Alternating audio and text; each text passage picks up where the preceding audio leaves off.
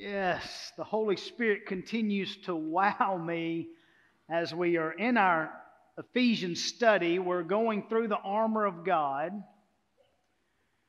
And today we are dealing with the footwear of the soldier of Christ.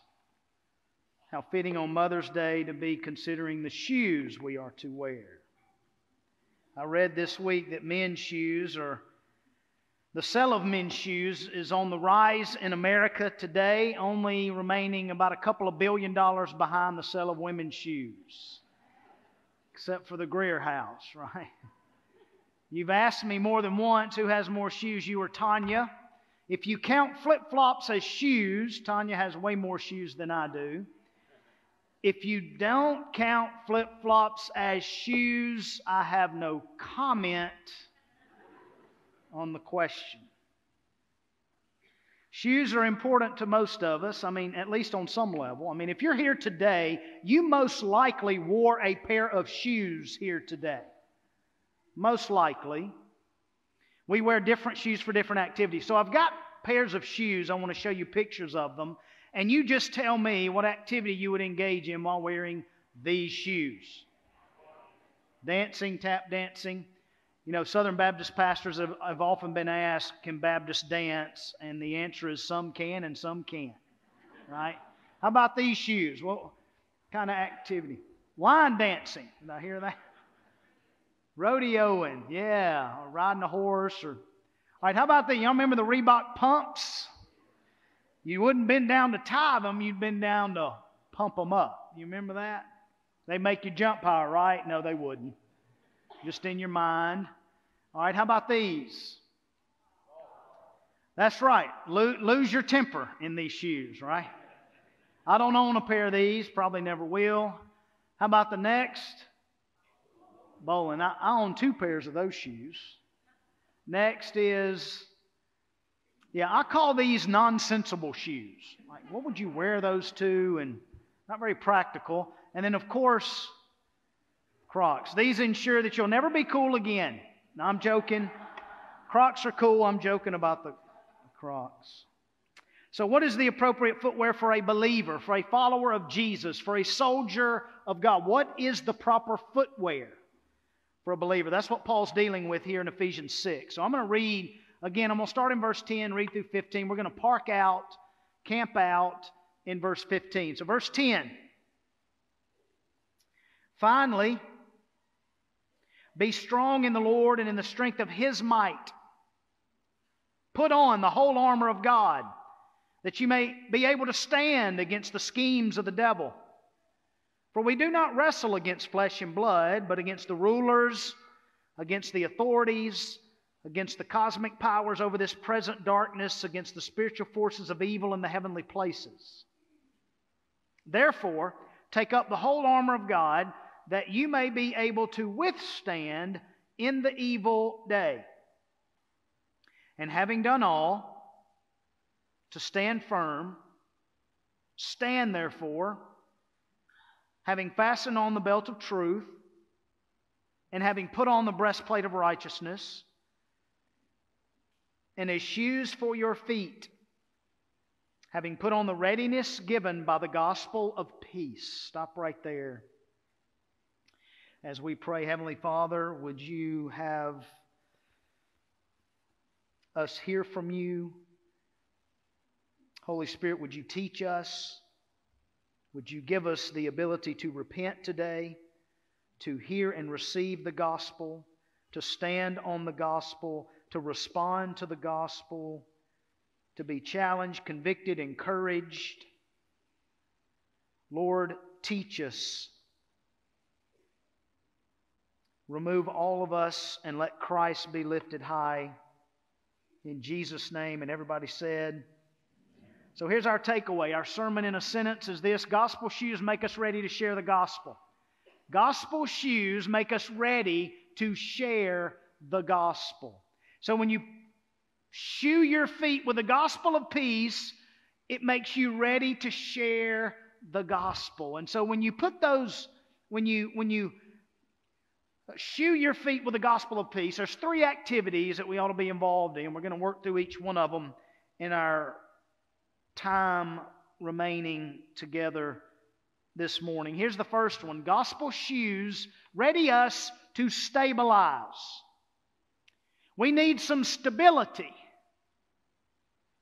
Would you agree with that? In this unstable world, we need some stability. And these shoes of, of the readiness of the gospel of peace, they stabilize us. These gospel shoes ready us to stabilize. Well, why do we need spiritual stability? Why do we need to be spiritually stable? Well, the month of May is a good example of what may happen in life. I mean, you know this as much as I do. In the month of May, it may rain, it may snow, it may be 20 degrees, it may be 90 degrees. It may be so hot in the month of May that two hobbits ring your ring doorbell. When you open the door, they throw a ring inside your house. May is all over the place.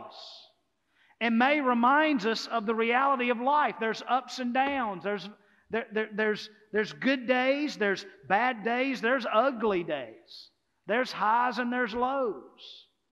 So, in all this unstable, up and down, day after day, how are we to live with stability? How are we to be stable in an unstable world? How, are we to, how are we to be like spiritual oak trees in a world of spiritual tumbleweeds that are tossed to and fro by the wind and carried about by every wind of doctrine, by human cunningness, by craftiness in deceitful schemes. Because, truth be told, listen, Satan loves unbalanced believers, he loves unstable saints, he loves cockeyed Christ followers. He loves spiritual tumbleweeds that are tossed to and fro. Satan eats that up. So, how are we to be stable? Well, this is what Paul is dealing with in our text today. Our footwear. Number one, to be stable, stability. And he says it this way. He uses the word and. Somebody say and. This is not or. Again, we're not called to pick out the armor. You get to pick out whatever piece you want to put on. Like pick out this piece or that piece or that piece or that. No, no, no. It's not or, it's and. This is a link in a chain connecting all the pieces of armor that you are to put it on and then put this piece on and then put that piece on and then put this piece on. Already we put on the belt of truth. The belt of truth, not the belt of tradition, not the belt of what is trendy, not the belt of what is trending or the belt of try harder, but the belt of truth. Somebody say truth. We've already put on the breastplate of righteousness. Somebody say righteousness. Not the breastplate of self righteousness, not the breastplate of religiousness, not the breastplate of relativeness or rottenness or rudeness, but righteousness. We've already put those on. Our third piece of the armor is to shoe our feet with the gospel of peace. This is the third piece of the armor. And so, if you take all of this armor and you really look at it, basically what Paul is telling us to do put on Jesus, be Jesus in your Jerusalem. Jesus said, I am the way and the truth. So, put on the belt of truth, put on Jesus. Jesus uh, he who knew no sin became sin for us, so that in him and through him we might become the righteousness of God. Jesus is our righteousness. So we put on Jesus. Jesus is the Prince of Peace, right? And so we're to put him on. Shoe our feet with the gospel of peace. In other words, we're just to get under the armor of God. Just like David when he fought Goliath, he was under the armor of God. He didn't get under the armor of King Saul. King Saul told him, You better wear this armor because look at that giant and look at his giant armor. I mean, Goliath was, a, was massive. But his armor, one piece of his armor weighed 125 pounds. His spear weighed 30 pounds. A spearhead weighed 15 pounds. This, this, this guy was huge. So King Saul said, Well, you got to have some armor. And he tried to put his own armor on King David, and he just, he just couldn't use it. He said, I'm not tested it. It's, doesn't fit right, it's too big. And so David went under the armor of God in the name of the Lord. That's what David said to the giant Goliath. You come at me with spear and javelin and sword, but I come to you in the name of the Lord of hosts, under the armor of God, in the name of the Lord.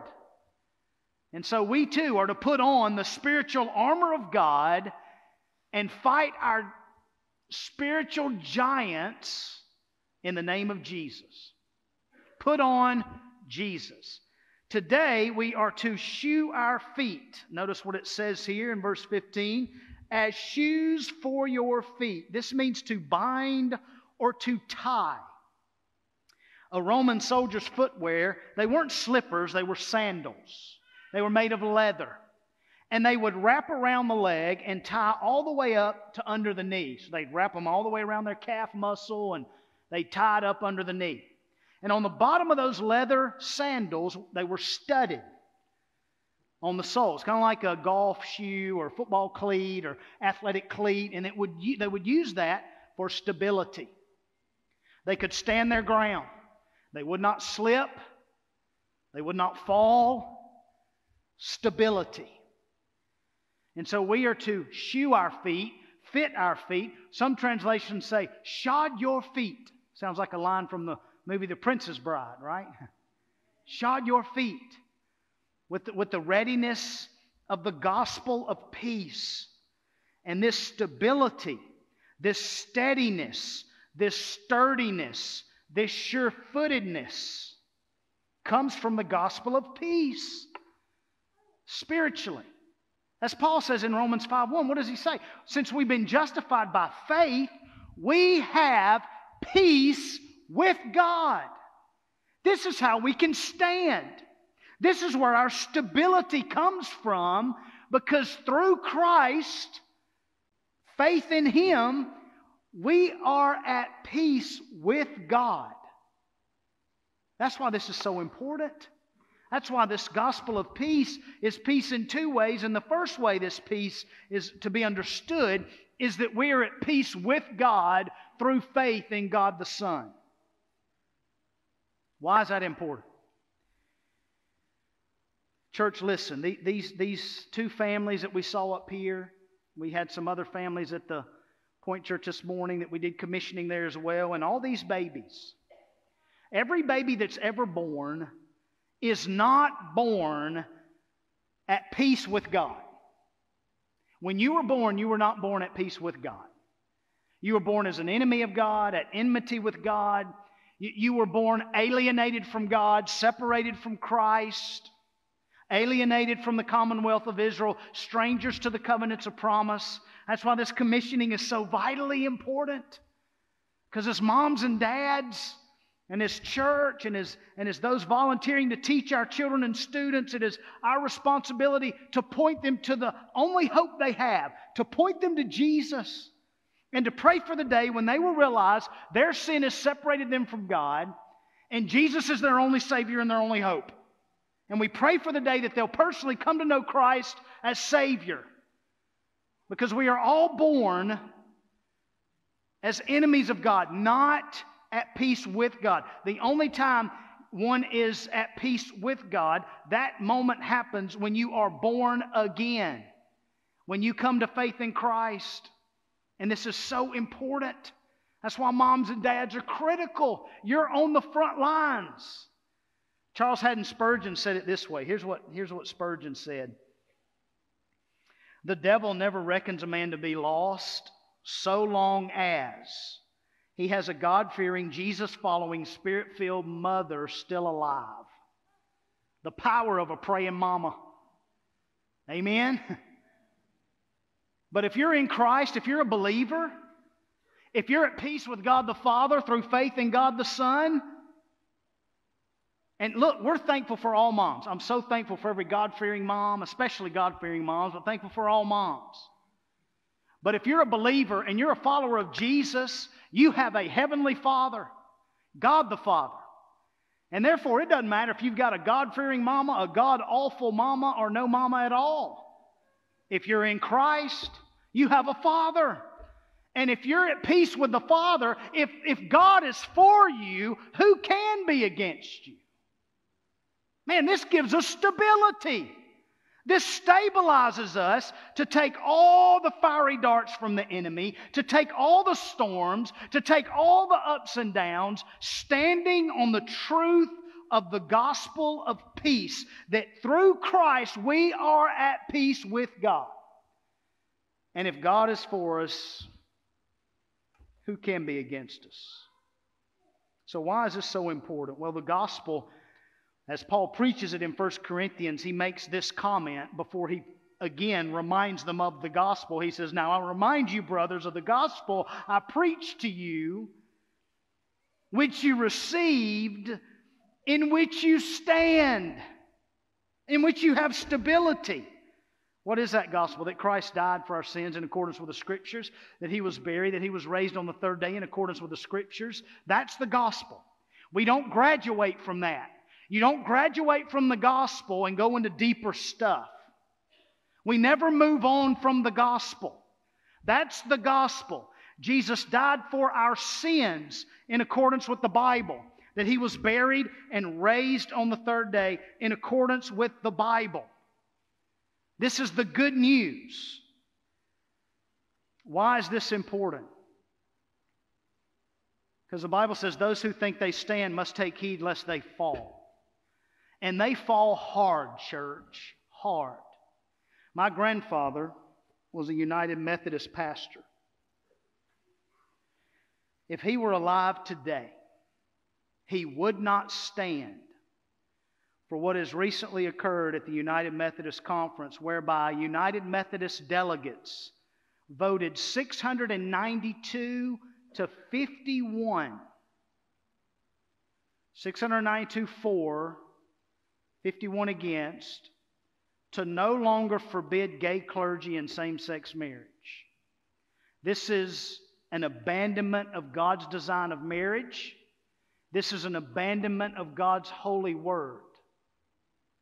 And the truth is, this world, our nation, America, needs strong, conservative, Bible believing, Christ following Methodist and Methodist churches. That's the truth. And it doesn't matter the denomination. I tell you, if, if the Southern Baptist Convention ever moves off the Word of God, we're out, church. I stand on the Word of truth, the gospel, period.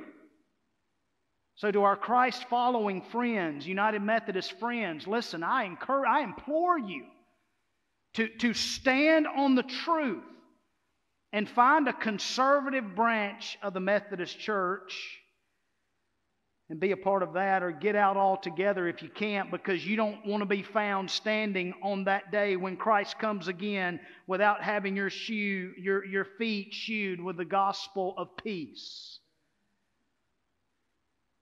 When a church changes its stance to match the current culture, they are not following the God of the Word, they're following the God of this world.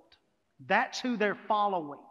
And we will not stand for that because we stand on the gospel. And when you have peace with God, it is so liberating. It sets you free. When you have peace with God, you know what Jesus has to say, and you can know what Jesus has said about the Bible. Jesus says, Heaven and earth will pass away, but my words will never pass away. when you have peace with God, you can know what Jesus says about salvation. When I look at, at Sam, I, I think there's no way Sam can be saved. But when I look at Jesus, I think there's no way Sam can be lost. And when you are at peace with God, you know what Jesus has said about creation that you are not a clump of cells. You did not descend from apes. You are created on purpose for a purpose. When you have peace with God, you can know what Jesus says about the devil. He's real, he's a murderer, he's a thief, he's a liar, and praise God, he's defeated. And when you're at peace with God, you can know what Jesus has said about marriage between one man and, and one woman. It's a covenant for life. It's not till love do us part. It's not till life do us part, it's till death do us part. It's a lifetime commitment and covenant. When you're at peace with God, you can know that, hey, our God is sovereign. Our Savior, He's still alive. Our sins are still forgiven. Our hope is secure. And our King is coming. We should be the most joyful people on planet Earth because we have the stability of the gospel of peace. Man, what an incredible gospel that, yes, we're all born at war with God, but through Christ we have peace with God. Man, what? Wow, it gives us great stability. And because we have peace with God, we, we can take on anything under the armor of God. Secondly, gospel shoes ready us to mobilize us. Not only are we stable, we need to be mobile. We need to be able to move, right? Physically, how, how do you, what is important for your physical health? Well, move. Doesn't matter if you swim, bike, walk, just move, right? I know as older you get, it's harder to stay in shape. I'm at the age now where the only fitness model job I'd ever be hired for is the before picture. I understand that. But it's important to move, isn't it? And, and athletic shoes give us the ability to, to, to stabilize and mobilize. Good athletic shoes. So, good spiritual shoes gives us the ability to be stable and stand on truth, but also be mobile. So, it gives us mobility. And that's the picture we see Paul painting here when he says, having put on the readiness given by the gospel, that you got to be ready to move. You got to be prepared to go. You can't spell gospel without the word go.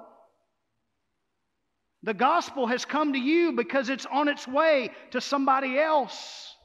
The gospel, Paul says, cannot be chained, it is moving.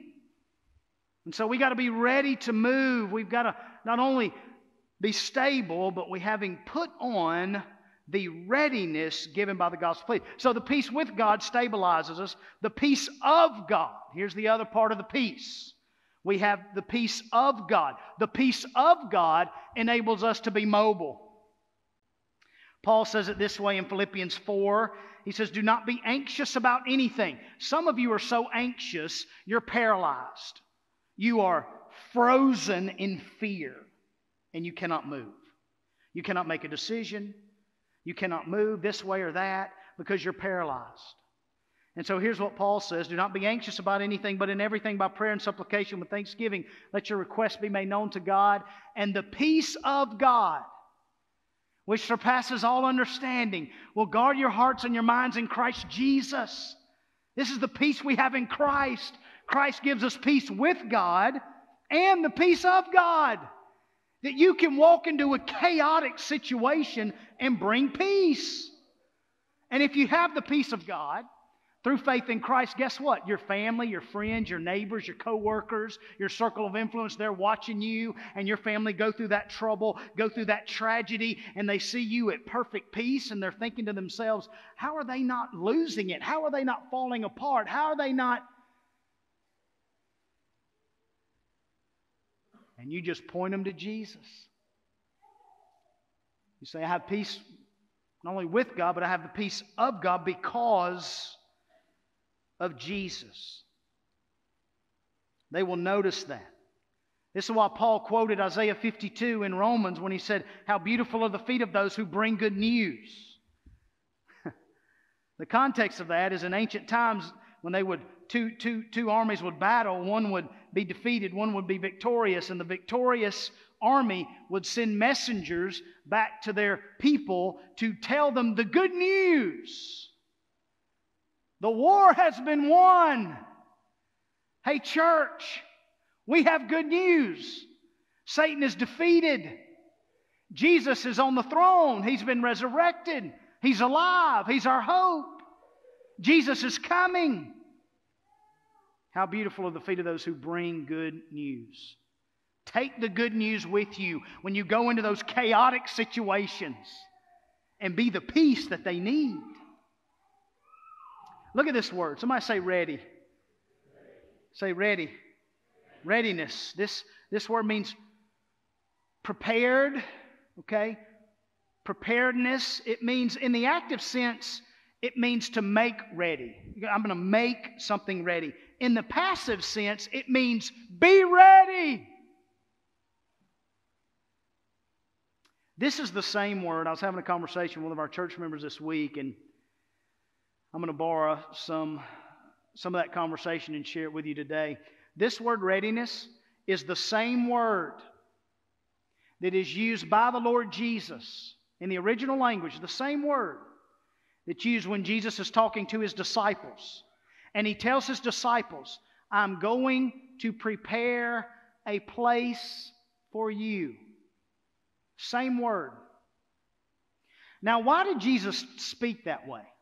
Why was he talking to his disciples in that way? Well, his disciples, he called them from Galilee. They were Galileans.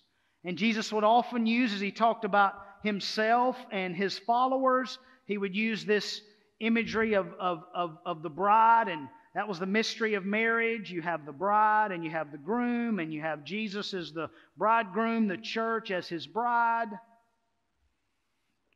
So Jesus sometimes would talk using Galilean wedding language. Galilean wedding was some different from other Eastern weddings in that not all of them were arranged. In fact, most Eastern weddings, I know in our mind we think arranged marriages, but not so with a Galilean wedding the bride had the choice to reject or receive the proposal. If she drank the cup of wine that the groom to be would bring her, that means she would receive this invitation, this proposal. If she rejected it, means she refused it. So you and I have the choice. We can either receive the bridegroom's invitation to come to him, all you who are weary and heavy laden, and I'll give you rest, or we can reject it. If the bride to be received the proposal, they would enter into this time of betrothal period, lasted around a year, where the groom would leave the bride to be and go, get this, go to his father's house. And he would go to his father's house to prepare a room on his father's house for him and his bride. This is why Jesus told his disciples, In my Father's house are many rooms. I go there to prepare a place for you. Because being Galileans, they would have understood the Galilean wedding imagery here. And as the, bride, as the groom would go prepare the place for him and his bride, the bride would also get ready. She's working on her dress and all the preparations, and she's getting ready because she doesn't know when the groom's coming to get her. So she's going to make sure she's ready when he comes to get her. And here's the kicker in the Galilean betrothal, the groom had no idea when he was going to go get his bride. His father would tell him when it was time to go get his bride. This is why Jesus says in Matthew 24 nobody knows the time or date. Not even the Son, but only the Father knows the time or day. And the Father, one day, God the Father is going to tell God the Son, go get your bride. And Jesus is going to split the sky. And the trumpet's going to blast. You know how that groom in, in the Galilean way, do you know how he would announce to the village that it was time for the marriage banquet? He'd blow the trumpet and they would hear, and sometimes it would be at midnight, an odd time, and they would hear that, and they would come. And if they didn't get there in time and the doors shut, they didn't get in. You got to be ready. Oh, my soul, you got to be ready. We're talking about eternity here. We're not talking about the temporary. We're not talking about religion. We're not talking about denominations. We're talking about life and death eternally, heaven or hell eternally. And so these gospel shoes of peace, when you put them on, you have peace with God. You have the peace of God. You can be stable and mobile, and you can go and make sure your family is aware that Jesus the Christ is coming for his church, his bride. Are you ready? Oh, these gospel shoes make us ready to share the gospel. These Dr. Scholl's that a believer's wearing is readying that believer to go do the work of an evangelist.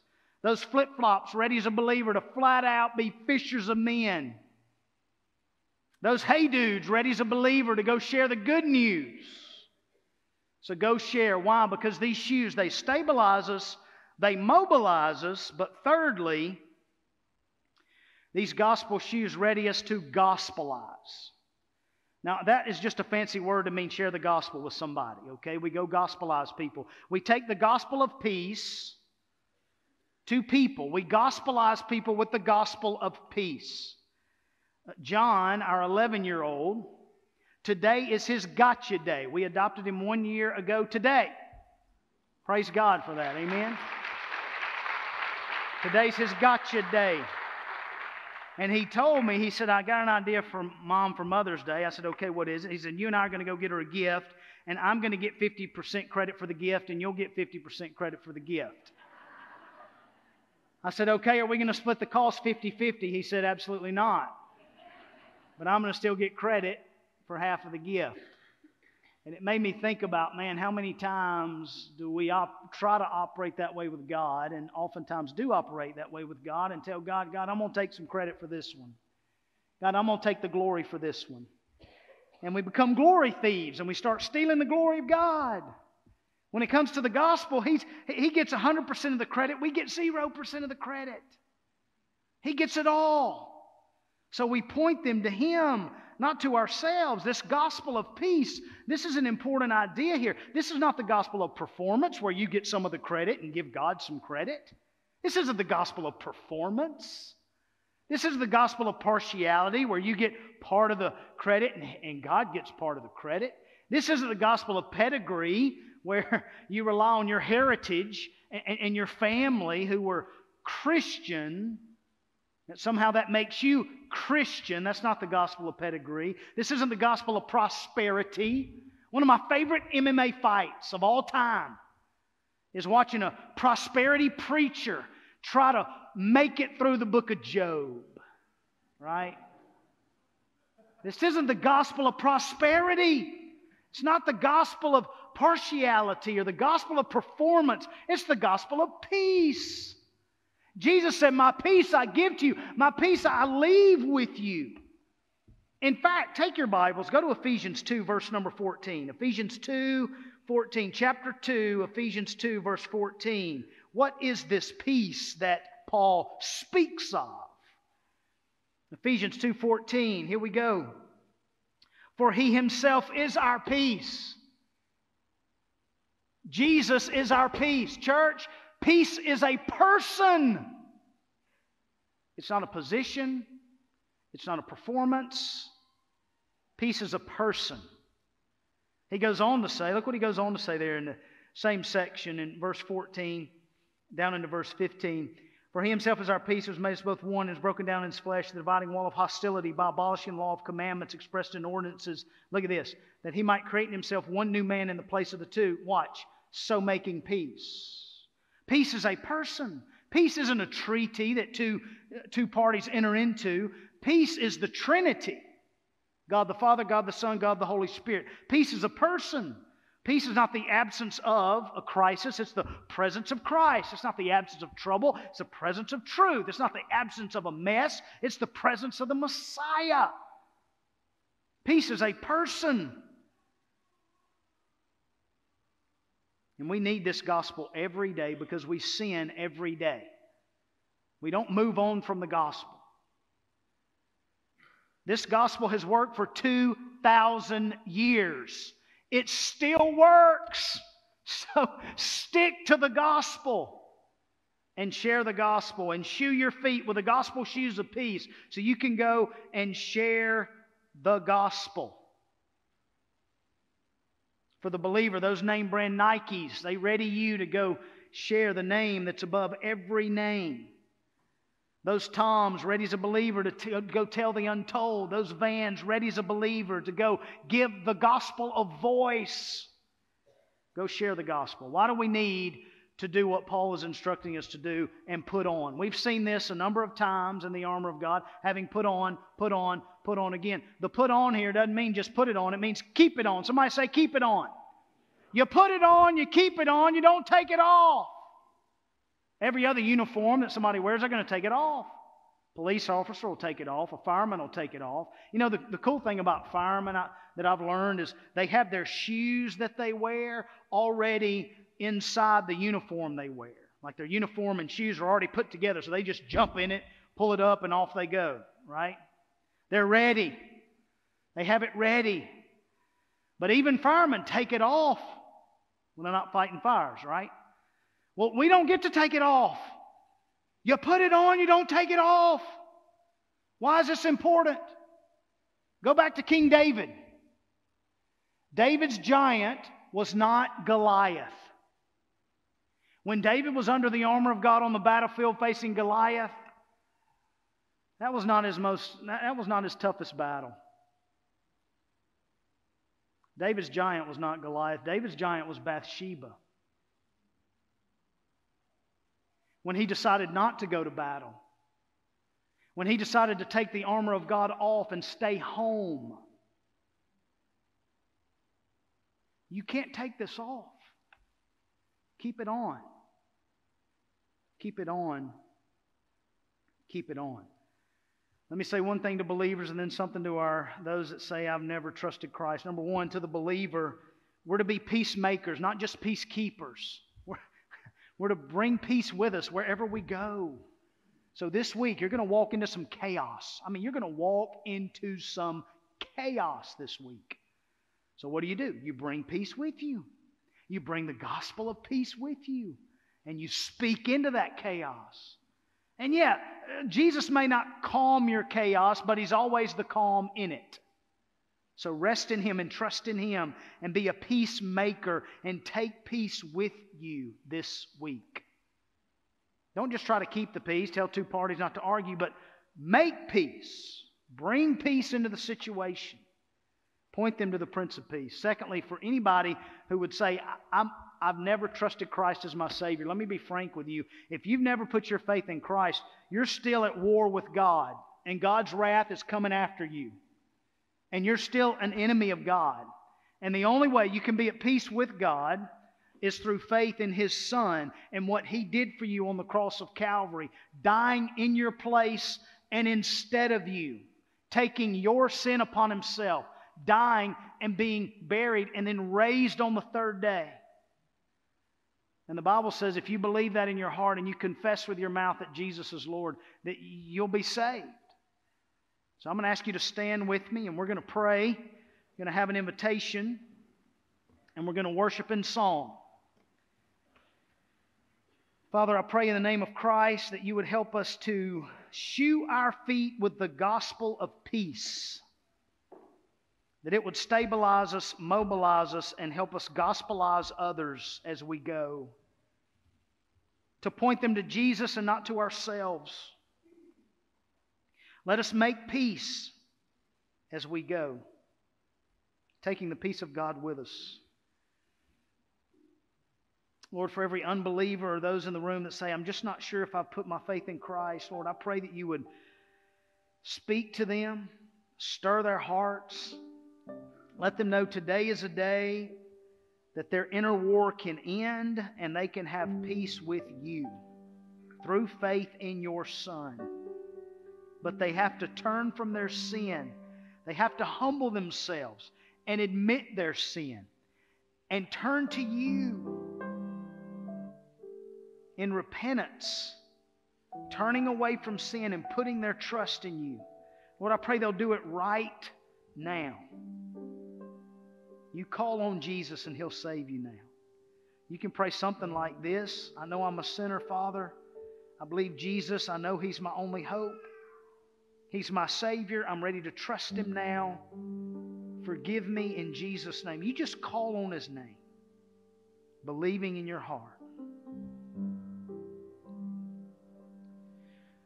Father, if there's anybody here that would say, Yeah, I, I want to I wanna be baptized, man, I need to join the church, or I want to answer a call to ministry, or I've got a prayer need in my life or a prayer request. I, encourage them to come during this time of invitation. We give you the glory in it all in Jesus' name. Amen. If you want to come pray or pray, have someone pray with you, you come as we worship.